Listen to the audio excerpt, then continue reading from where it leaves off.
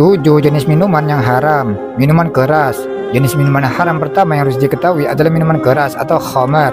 Minuman keras yang dimaksud dalam kategori ini adalah minuman yang mengandung alkohol. Semua yang memabukkan adalah khamar dan semua khamar adalah haram. Hadis riwayat Muslim.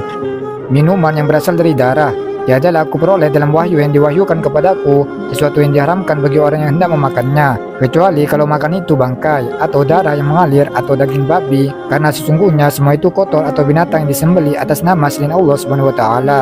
Quran surat Al-An'am ayat 145. Minuman dalam bejana emas.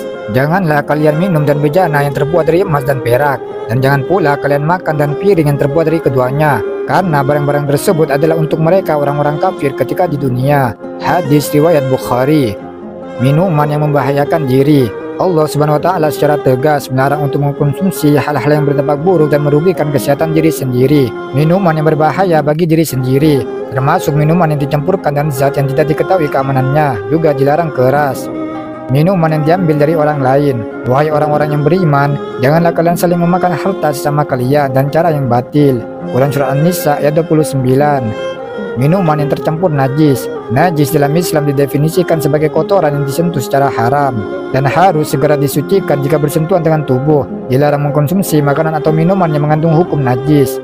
Minuman dan efek psikotropika. Minuman yang punya sifat psikotropika dilarang dalam Islam karena akan mengganggu kesehatan fisik dan mental setiap orang yang mengkonsumsinya. Zat psikotropika dalam minuman ini dapat berasal dari obat atau campuran obat lain. Wallahu a'lam bishawab.